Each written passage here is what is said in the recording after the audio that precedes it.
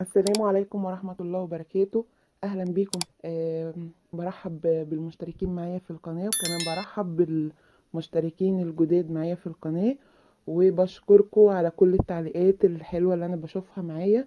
آه، هنقول النهاردة إن شاء الله قراءة عاطفية آه، لمواليد برج الحوت إن شاء الله.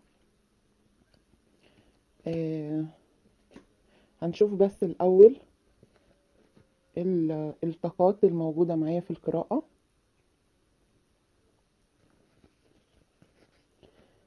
آه، شايفة الطاقة المائية. آه، طبعا طاقتك يا برج الحوت. آه، وهنشوف لو في طاقات مائية تانية. شايفة في طاقات نارية. في طاقة مائية تانية. شايفة طاقة برج العقرب. وفي طاقات هوائية. برج الحوت آه، عندك تعب. تعب عضوي. هنتكلم عن التعب اللي أنا شايفاه دلوقتي. تعب عضوي تعب في ظهرك. آه، عندك تعب في ظهرك من فترة بيألمك جدا. ألف سلامة لكل مواليد برج الحوت. آه، انت بتعاني بقالك فترة من التعب ده جدا واللي شايفاه هنا إن السبب عند بعضكم سحر. شايفة السبب عند بعضكم سحر والسحر ده من حد مقرب منك يا برج الحوت. في سحر من حد مقرب منك وده سبب التعب اللي انت بتحس بيه ده.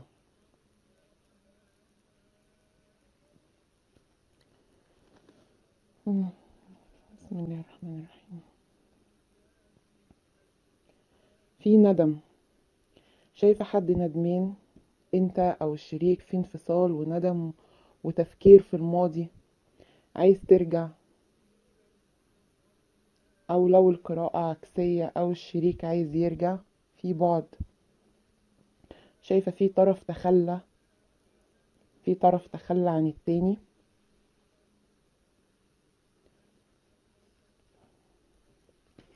بعض مواليد برج الحوت في حزن في حزن وانطواء. حزن وانطواء برج الحوت وما بقاش عنده ثقة في حد. الحالات اللي فيها انفصال شايفة كتير منكم مش عايز يرجع. في حالات فيها انفصال في كتير منكم مش عايز يرجع خلاص. انت خدت قرار بالبعد وبتفكر في ارتباط جديد.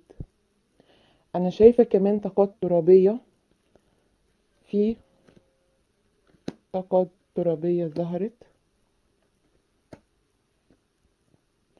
آه، في حد اتعرض للخيانة مش عارفة انت ولا الطرف التاني. بس أنا شايفة كارت العدالة طلع لك أنت بتطلب العدالة يا برج الحوت وهتتحقق إن شاء الله. يعني حتى أنت كمان في الفترة دي هيكون عندك توازن في تعاملاتك. هيكون عندك توازن في تعاملاتك وأفكارك بالذات من الناحية العاطفية. يعني هتكون بتفكر بعقلك أكتر وبتحسب لكل حاجة قبل ما تعملها وبتفكر كمان في اللي بتسمعه. يعني مش بترد غير لما تكون حللت الموقف كويس وهتربط ده آه، تحليلك ده يعني للموقف هتربطه بقوة الحدس عندك. لأن أنت يا برج الحوت آه، آه، يعني بت- بتقدر آه، عندك هقولك إيه الحدس عندك عالي يعني أغلب تحليلاتك وتوقعاتك بتكون صح. آه أنت في أمور أنت هتقدر تسيطر عليها وتحلها في الفترة دي. شايفة في علاقات اتقفل فيها الاتصال تماما؟ ممكن من ناحيتك أو من ناحية الطرف التاني. علاقات حصل فيها خذلان. محدش عايز يسمع يعني محدش عايز يسمع بعد كده حاجة تاني. بس عايزة أقول الأول إن العلاقات اللي اتكلمت عنها وحصل فيها سحر تفريق حاول يا برج الحوت تبطل السحر لأ يعني بالطرق الشرعية طبعا. لاني شايفة إن أنت والشريك في الوضع ده أنتوا بتحبوا بعض جدا. أنت والشريك بتحبوا بعض جدا آه، والمانع القوي ده بيأثر على العلاقة. يعني ممكن لو ما رحتش ل- لإبطال السحر ده ممكن العلاقة تتهد على الآخر. أنا على فكرة أغلب ال- الأبراج اللي تقريبا اللي أنا شفتها في في الشهر ده فيه سحر. آه، يعني حاولوا تلجأوا لربنا في الفترة دي. آه، ابطلوا السحر بالطرق الشرعية. إخراج الصدقات ضروري. إن شاء الله الأمور تتحسن وترجعوا تاني. لازم لازم آه، تدوروا على طريقة لإبطال ال- لإبطال السحر.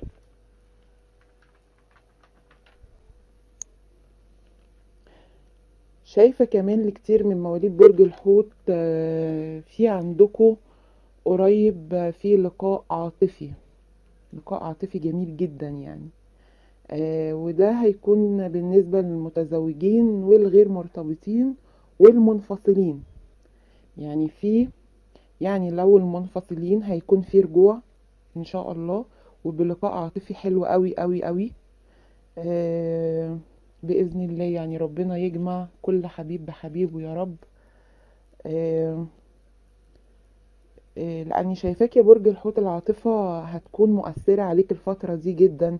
يعني المتجوزين هيحسوا ناحية الشريك بحب أكتر آه، هيحاولوا لو في مشاكل يحلوها ما يخلوهاش آه، تأثر على العلاقة والشريك كمان هي يعني هي هيساعدك في ده لأن الحب متبادل وشايفة كتير من المنفصلين في عنده حنين قوي عندهم سواء منهم أو من الشريك. فيعني فبالتالي هيكون في لقاء حلو جدا. يعني الحنين اللي عند المنفصلين هو من الناحيتين. بس يا جماعة اللي فيه سحر لأني شايفة فيه سحر تفريق فيه سحر تفريق فيه سحر تفريق.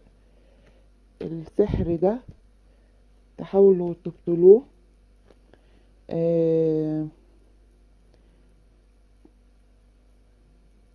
آه في هتلاقوا حلول.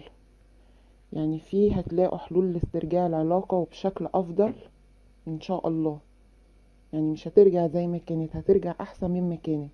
أما الغير مرتبطين عندهم في الفترة دي حب كبير متبادل أو آه، يقابلوا الحبيب اللي هيحسوا إن هو ده اللي كانوا بيحلموا بيه آه، أو ده الشخص المناسب اللي عايز يكمل معاه حياته.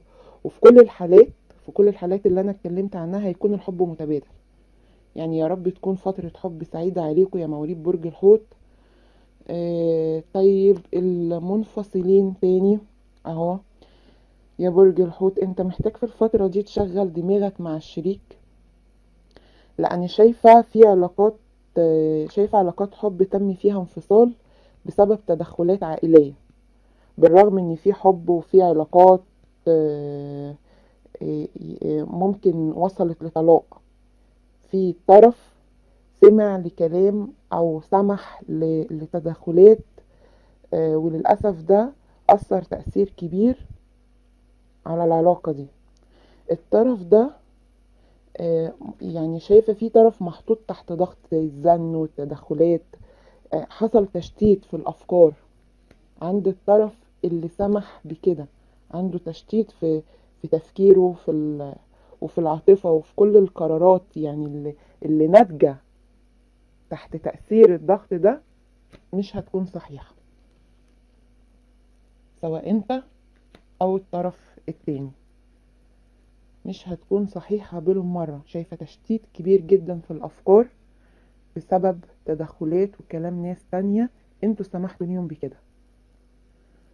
فلازم طرف فيكو يشغل دماغه ويرجع العلاقة دي تاني. يعني هنقولها بالحيل السليمة. انت محتاج يا برج الحوت تتحايل. تتحايل بس حيل سليمة. وده طبعا مش عيب اما أنت تكون عايز ترجع العلاقة بتاعتك تاني. آه عايزة أطمن مواليد برج الحوت إن في النص الأول من شهر مايو في كتير تواصل عاطفي. يعني شايفة تواصل تواصل في عندكم كتير جدا آه تواصل عاطفي آه وعملي كمان. وعلى فكرة في تغيرات كتير للأحسن. ده هيكون بسعيك وترتيب أفكارك. آه بس حبيت أعرفك إن الفرصة متاحة في الفترة دي. فرصة متاحة في الفترة دي بإنك تركز وترتب أفكارك كويس جدا عشان تحقق ال- اللي أنا بقول عنه ده. عندك تواصل عاطفي. أما المنفصلين في فترة النص الأول من مايو لازم تخلي بالك بالذات الناس اللي عندها مسائل قضائية. لازم تتحلى بالحكمة والتفكير السليم في الفترة دي آه، تتجنب النزاعات اللي ممكن آه، آه، تخسرك. يعني بلاش في الفترة دي نزاع وجدال ورد والحاجات دي كلها نتجنبها تماما. يعني ابعد واشغل نفسك بأي حاجة وحاول تفكر في حل المشكلة بلاش تفكر في المشكلة. في فرق كبير بين إن إحنا نقعد نفكر في المشكلة وإن إحنا نفكر في حل للمشكلة. آه، النزاعات اللي ممكن حد يدخلك فيها دي ده هيكون المقصود منها إنك تخسر إنك تطلع خسران. آه، غير إنك فلكيا في الفترة دي برج الحوت هيكون عندك كواكب معاكسة شوية بس هي فترة هتنتهي. يعني في عندك في الفترة بتاعت النص الأول من مايو فلكيا عندك في كواكب معاكسة بس هي مش هتطول. ف... فأنا بما إني عرفتك فأنت تحاول تسيطر على تصرفاتك وترتب أفكارك في الفترة دي. آه، زي ما قلت هي فترة هتنتهي على طول لو اتحكمت في ردود أفعالك لأن اللي بنعمله هو يعني بتر... يعني بيترتب عليه اللي بيحصل لنا بعد كده. يعني اللي أنا هعمله دلوقتي أو رد فعلي اللي أنا هاخده دلوقتي هو اللي هيترتب عليه اللي هيحصل بعد كده. فأنت حاول بما إنك عايز اللي يحصل بعد كده يكون للأحسن تركز في اللي أنت بتعمله دلوقتي إنه ما يكونش فيه أي تهور. في منكم عايز سفر؟ ممكن يتاح لي فرصة سفر في الفترة دي. إن شاء الله اللي عايز سفر ممكن يتاح له فرصة سفر في الفترة دي. شايفة تعب كتير يا برج الحوت. تعب ومعاناة في الفترة اللي فاتت بس قربت تنتهي سواء مشاكل أو علاقات آه، أنت قدمت فيها الكتير. شايفة بعضكم بينهي علاقات. علاقات دي سببت ليك تعب وبذلت فيها مجهود. بس شايفاه فيك في عندك الدخول يعني على مراحل جديدة عاطفيا مستقرة أكتر. الحب هو اللي هيكون غالب على العلاقة و, و... يعني الحب غالب على العلاقة وهيلغي أي اختلاف. أي اختلاف في العلاقة دي الحب هيلغيه.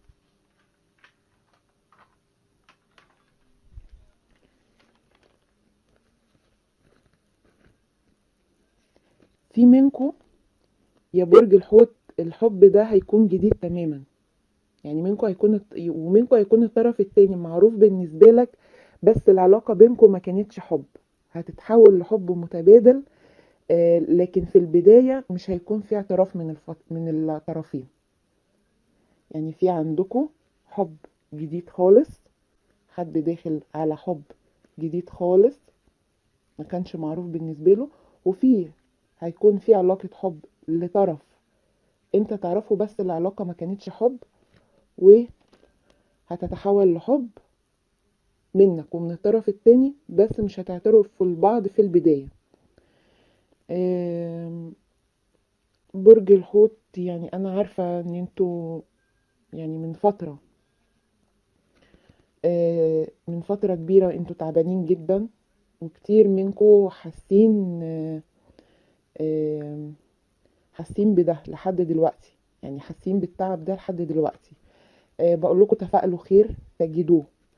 أه أو الذبذبات بتاعتكم بالصلاة والاستغفار و آه، يعني علشان اللي أنا بقول عنه ده يعني الفترة اللي جاية دي فيها حاجات كويسة كتير. بس لازم أنت تقوي ده عندك. يعني لازم تكون عندك استعداد لإنك تستقبل ده. ما تقفلوش منافذ الطاقة عندكم يا جماعة. لأن أحيانا لما بلاقي الحد في حاجات كويسة جايله ومثلا أسمع من حد يعني إن لأ مثلا ما حصلتش ففي يعني أنت بتحط نفسك في وضع نفسي معين بتقفل منافذ الطاقة فيه ما تخليش نفسك بتستقبل حاجة. لأ افتح منافذ الطاقة عندك بالصلاة وبالاستغفار وبال بالذكر. فإن شاء الله تستقبل كل حاجة جميلة لأن الفترة اللي جاية عندكم حلوة قوي فيها حاجات حلوة جدا على المستوى العاطفي. وفلكيا كمان على المستوى المادي عندكم شوية حاجات حلوة كمان. آه، لازم تعملوا كده عشان تستقبلوا الأحسن. أو الحاجات الإيجابية يعني يكون عندكم استقبال للحاجات الإيجابية اللي هتحصل قريب إن شاء الله. ال- القراءة انتهت. يا برج الحوت شايفاها قراءة إيجابية آه، شايفة فيه رجوع لبعض المنفصلين آه، وشايفة عندك نصر وشايفة في علاقات حب جديدة لبعضكم آه، بس زي ما قلت يا جماعة السحر ده لازم يتفك. لازم يتفك لازم تبطلوه آه، في الرؤية الشرعية آه، في البخور آم، بورق بورق اللوري الحاجات اللي أنا بقول عنها دي حاجات عن تجربة يعني عن تجربة عملتها مع أشخاص السحر اتبطل. آه، وسماع الرؤية الشرعية اللي خاصة بسحر التفريق تشغلوها دايما وإن شاء الله إن شاء الله آه، يتبطل السحر ده بإذن الله.